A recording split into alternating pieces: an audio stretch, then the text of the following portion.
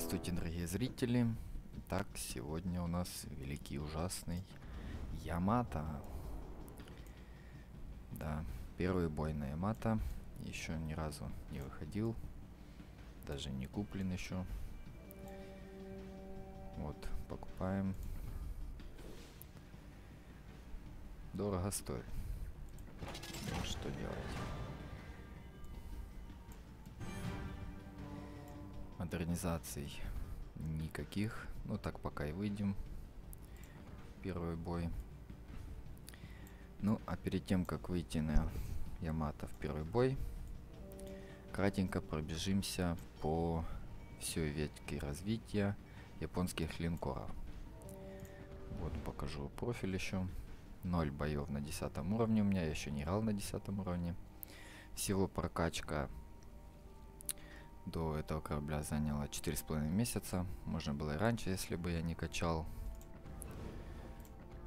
советские э, крейсера США до Кливленда докачивал. Потом продал. Понял, что крейсера это не тот уровень, не так интересно их играть. Эсминцы даже не пробовал. Авианосцы тоже не пробовал. Сразу перешел к прокачке Ямато. Итак, Микаса.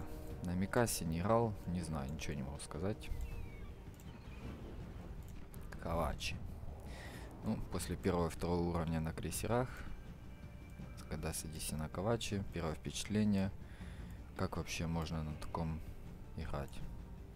Неповоротливый, заряжается долго, стреляет косо, вообще ужасно. Даже после вот Кавачи я поиграл, немножко бросил и начал играть на прокачку американских крейсеров. Вот, но стоит потерпеть немножко, поиграть. И мы переходим к Миоги. Не намного лучше и Кавачи, еще и пушек мало. Пока зарядится, пока попадет. В общем, очень тяжелый корабль, очень плохо на нем играть. Тоже вообще непонятно. Для новичков еще и сразу такие жесткие корабли. Очень тяжело их выкачивать. Топовые корпуса и переходить к следующим. Очень тяжело. Вот Конга уже поинтереснее кораблик. Конга, да, можно начинать играть. Но не в топовом корпусе. Вообще все люди, кто собрался прокачивать линкоры, будьте готовы к тому, что... Ой, не в топовом корпусе, говорю, не в стоковом корпусе. Так вот, будьте готовы к тому, что стоковые корпуса вы будете страдать. Вас будут поджигать, вас будут все время выбивать цитадели, так как вы медленные, вы стреляете очень близко, далеко не можете.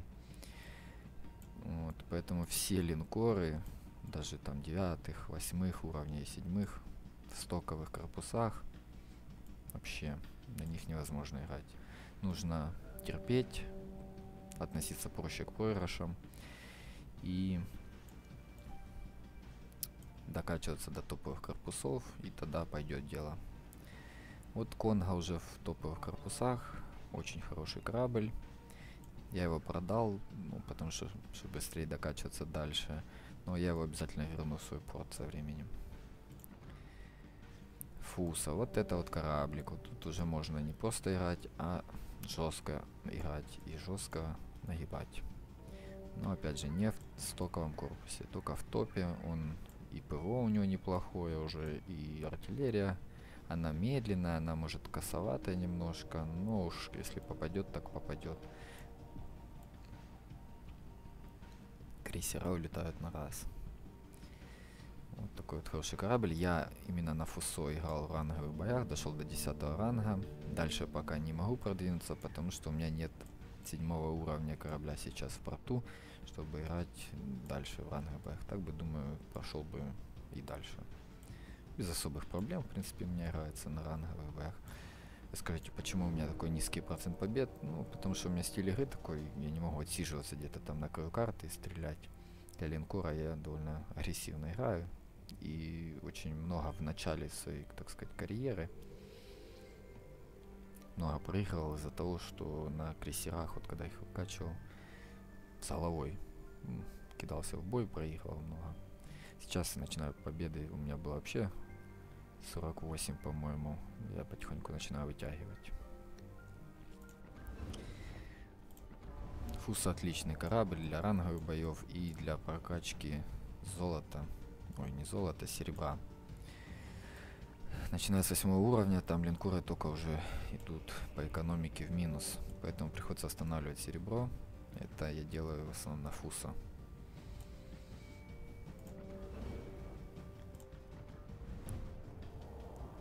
Нагата очень интересный корабль. В первую очередь из-за того, что уже чувствуется качественный прирост после фусов. Здесь орудие уже совсем другого калибра. Здесь начинается уже супер тяжеловесный калибр. Орудие 410 миллиметров. Это вам не хухры-мухры. Такие орудия очень часто доставалось от Нагата и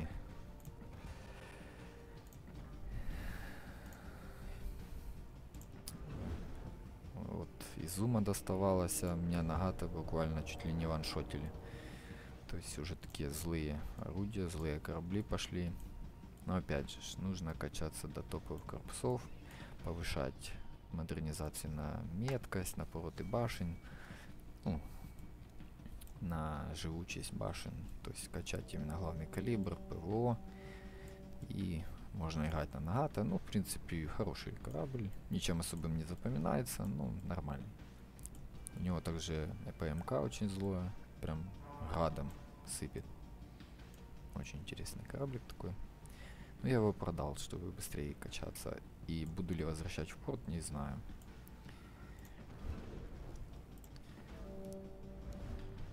А вот Амаги я верну в порт обязательно. Сейчас у меня его нет, я его продал для быстрого развития. Но я его обязательно верну. Это один из моих... Это не один из моих, а, наверное, наравне с Фусом. Ну да, один из самых любимых кораблей. Вначале он такой не очень, кажется. Начинаешь играть на нем, думаешь, ну как на нем можно играть? Все время лупят тебя. Борта поставлять нельзя, броня очень тоненькая, цитадели вылетают на раз. Но потом, когда он прокачивается, когда постигаешь, как на нем играть, очень мощный корабль. Залп у него, по-моему, третий по мощности, по потенциальному урону в игре после Монтаны и Ямата. Очень быстрый корабль, поворотливый, вот, очень хороший корабль, мне очень нравится. Но борта, да, нельзя, нельзя поставлять. Нужно на нем играть как на крейсере. Вот. Что еще хочется сказать? У меня, вот я выложу клип. Там в клипе даже видно, как я на Маге переехал в Северную Каролину, и она лопнула, а Маги осталась целая. Вот так вот. На Амаге я очень часто, кстати, Северных Каролин побеждал в дуэльных боях. Хотя у Северной Каролины там супер броня, говорят, ну, не знаю, при правильной игре, не подставление бота. Лучше вы стреляете этими двумя пушками, или если отступаете, то тремя, без доворотов.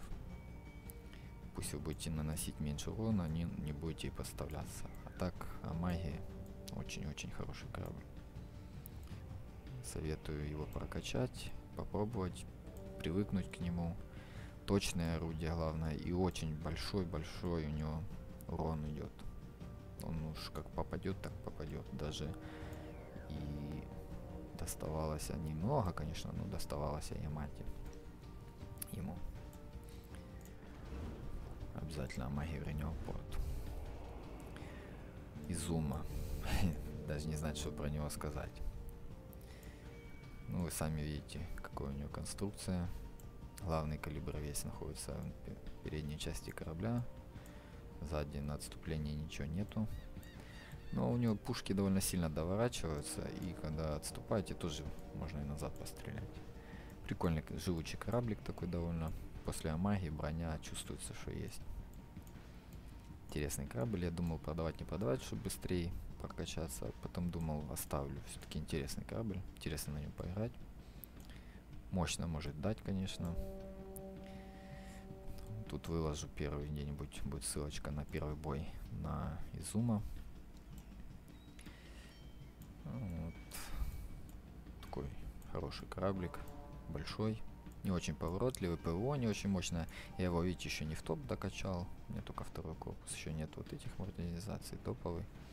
Я как бы решил сейчас побыстрее качнуть Ямато, а потом уже докачаю все остальные ли линкоры. Практически будет полная ветка японских линкоров у меня в порту. Я играю только на линкорах.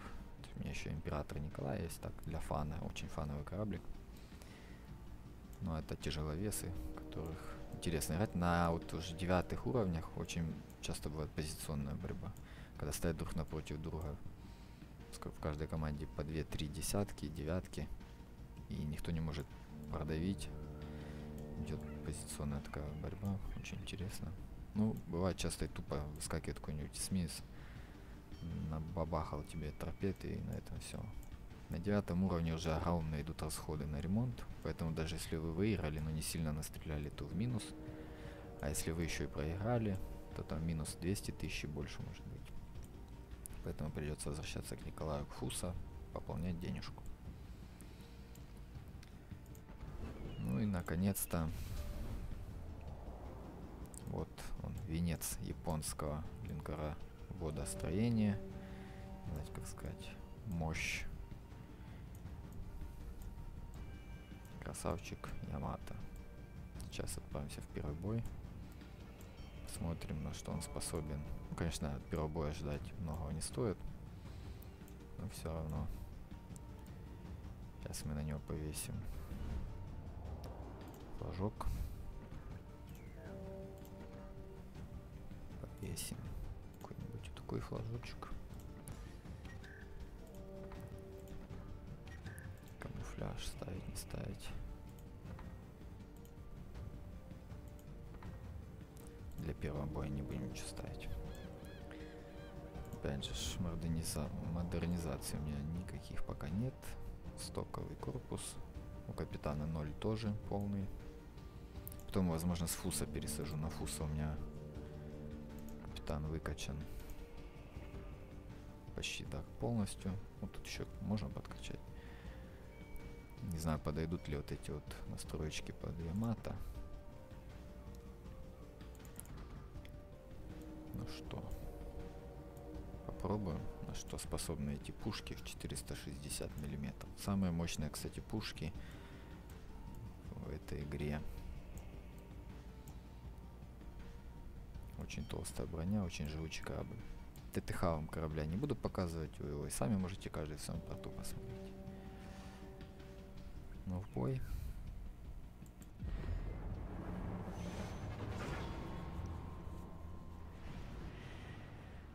Интересно закинула. В нашей команде два Ямата. В команде противников Монтана и Ямата. И две девятки авианосцев. Это уже очень серьезно. Уже девятый, десятый уровни. Просто не будет ни на Ямата, ни на каком корабле. Сразу поставим бэбэхи. Ну и режим попался для первого боя. Акватория. Ужас. Так, где наш еще один? Ага, вот Ямато. Куда он, интересно, пойдет? Мы пойдем по открытой воде. Посмотрим, на что способен этот монстр, который стреляет на 26 и 48 километров. В реальной жизни он стрелял вообще на 40 километров.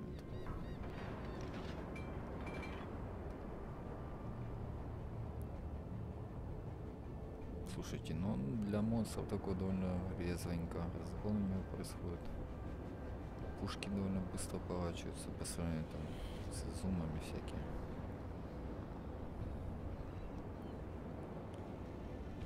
Ну, конечно, придется привыкнуть и к баллистике. В первом бою, не знаю, буду косить, наверное, постоянно. 26 километров. Снаряды вроде быстро летят. Так, союзный Ямато пошел вместе хорошо. Может прикроет меня ПВО. Чего нет? Может прикрыть. Главным калибра. Вот самое. ПВО. Так, будем удерживать некоторый угол. Хотя пока к нам ни один корабль не дострельнет с такого расстояния. 26 километров. На таком расстоянии еще попасть надо. торпедоносцы вполне будут с окна выйти. Силы противника на горизонте. Вот и терпится. Не достаем пока. Ямато. Да, четыре с половиной месяца качания, чтобы пухнуть, так сказать, с этих пушечек.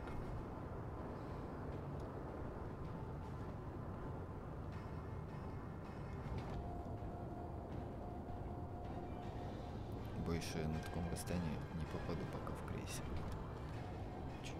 Поближе. Ну вот, терпится. Ну, готовься, терпится. Так, вот не знаю, какое повреждение здесь еще брать. 16 минут, 16 секунд, точнее, пока будет полет пули. Ну, давайте вот так. Пошли. 460 миллиметров.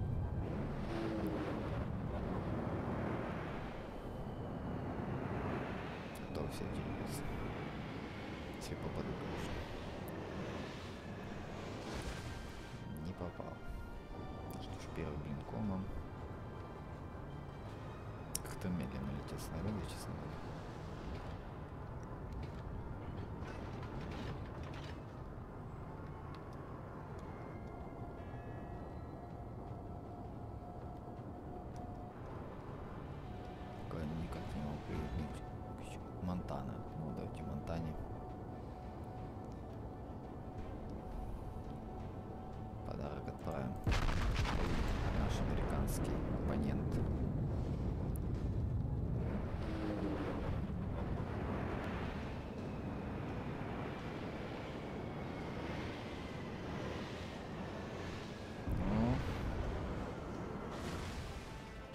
Опять минута, что ж такое. Я наш союзный Ямато решил отойти. Нужно он прав. Нам не нужно близко подходить, нам достаточно стрельнуть далеко. Что, попробовать атага ушатать?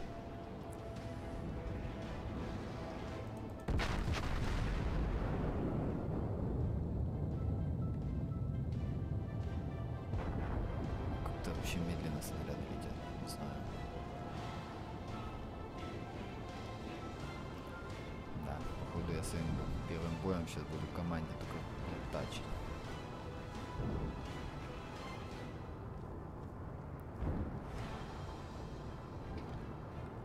Нас будет спасать, наверное, только броня. бою. Давай это. Хотя есть плюшки вкусные. Вкусняшки.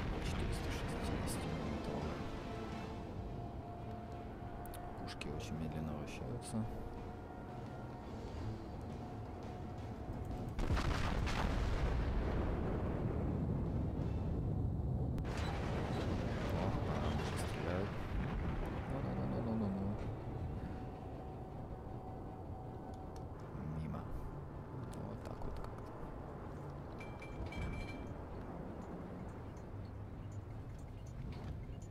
Кстати, здесь опасно стоять. Эсминцы выскочить. Так, команда противника решила она вот Монтана уже в 13 километрах. Вот это сейчас будет интересно.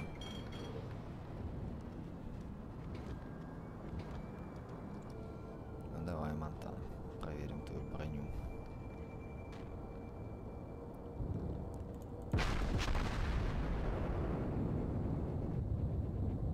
Снаряды видно, что крупненькие такие пушечки. Вот так, на 3000. Смешно. Для Ямато это смешно. Ух ты, нам зал хочет подарить торпедки. Отклоняемся. Четырнадцать тысяч залов прилетел. Тоже как-то вообще ни о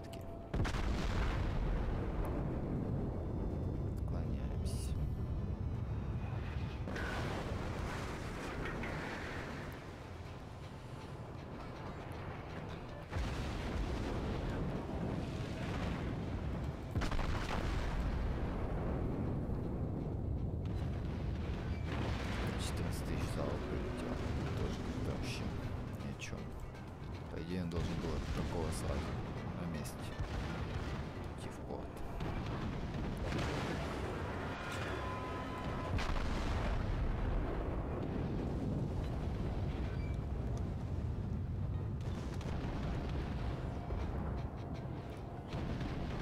Интересно, Интересно, торпеду уже успел пустить.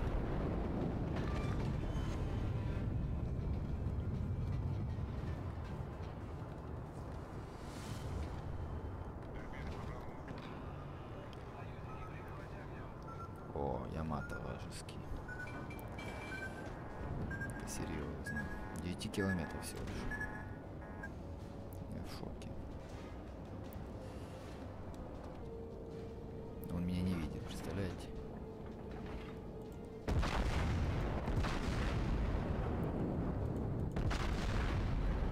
Сейчас, наверное, он меня увидит. Вообще без каких-либо... Вон он. Какая-то фигня. Честно говоря, в шоке. Вся команда сзади-то там. Сейчас будет град из ПМК. О! Матова. Вот и ко мне пушечки полетели.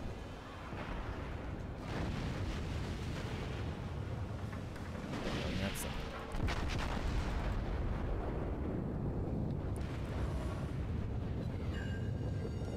Э, О, о, нет, вот и поиграл. Первый бой. Беспечно. Как тупо и бездарно. Первом минуте. Ужас просто.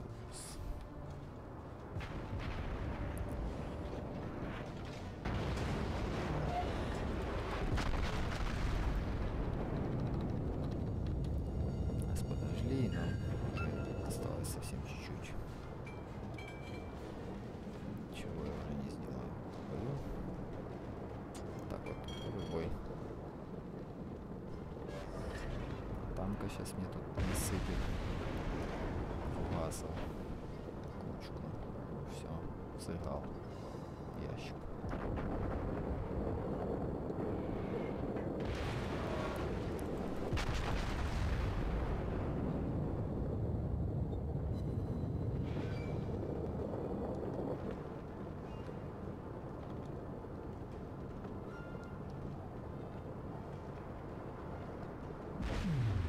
Вот и все.